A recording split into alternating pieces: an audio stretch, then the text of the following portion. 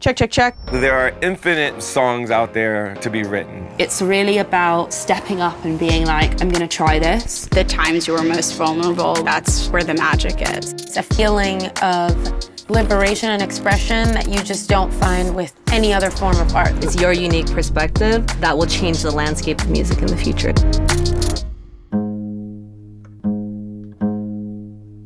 One, two, three, four. I learned how to harmonize by being the annoying kid in the car who is like, "Eh," like harmonizing with everything on the radio. But that's how you learn. Hey, I'm Phoebe Bridgers, and I'm a singer songwriter. Hey, I'm Marshall Vore. I'm Phoebe's ex-boyfriend, and we're still friends. No, okay, okay, I'm ready. Hey, I'm Marshall Vore. I'm a songwriter and general all-around music fan.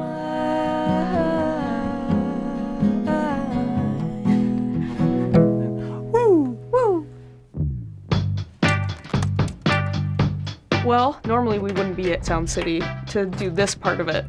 Normally, it's either at your house or my house. Find the quietest room. I light every candle and like get in the mood. Anyone that tells you there's a proper way to record anything, they're wrong.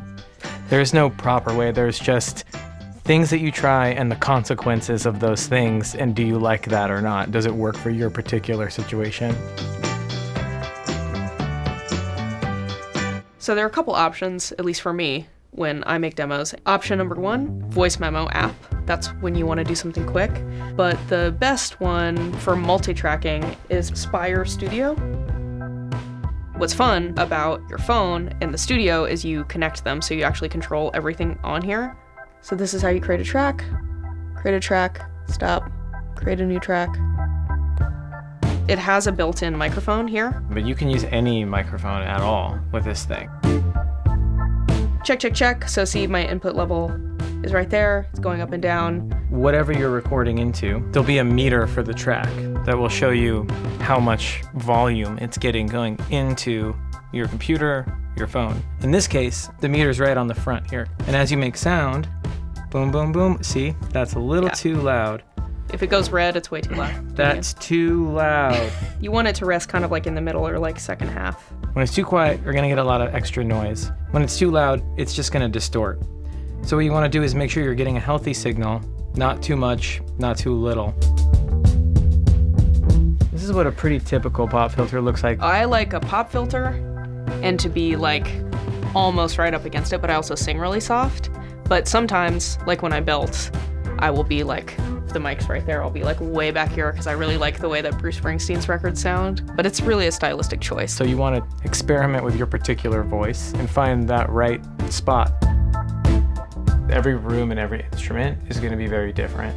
Ultimately, you're just trying to experiment with things, whether that's the mic being far away or close, or maybe using, I don't know, towels on drums, or just anything to get the sound that you want is a good thing. I like the way that bathrooms sound for vocal and to put your amp in your bathtub. I feel like a lot of people do that because it's kind of like natural reverb a little bit. That's one of the most fun things about recording is that it is all a huge experiment. When I'm at home, I feel like my vocals are pretty tentative, like I'm trying to save my voice. I kind of like the like whispery quality of, that demos have. I don't do a ton of warming up, which I probably should, but my favorite vocal warm up is weirdly the For someone who hates vocal warm ups, that's a good one. Check, check, check. Okay. So you hit that big red button, it's go time.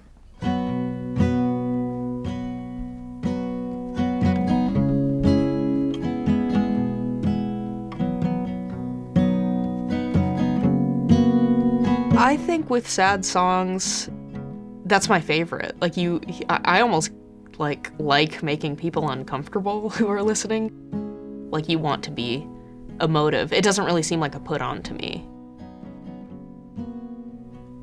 So now I can listen back.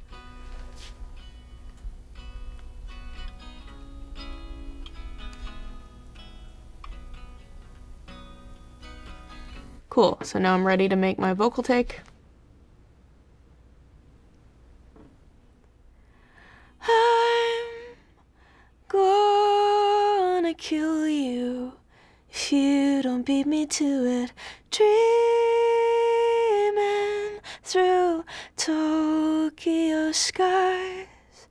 I wanted to see the world. Then I flew over the ocean and I changed my mind.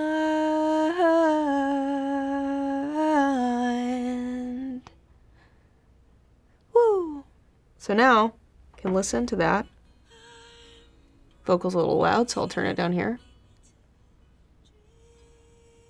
Okay, so now if we want, we can do this. Another vocal track. I'm to turn my gain down a little bit because I want it to be a little quieter.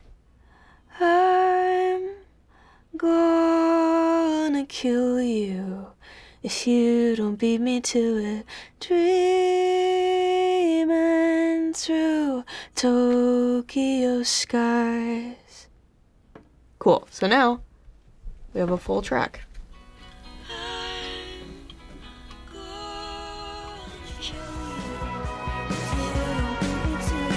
For probably all of history, some of the most exciting and coolest art has been made by teenagers with no money Yeah, in definitely. their bedrooms.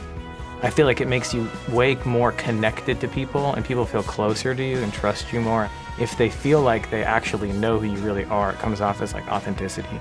That's so true of songwriting too.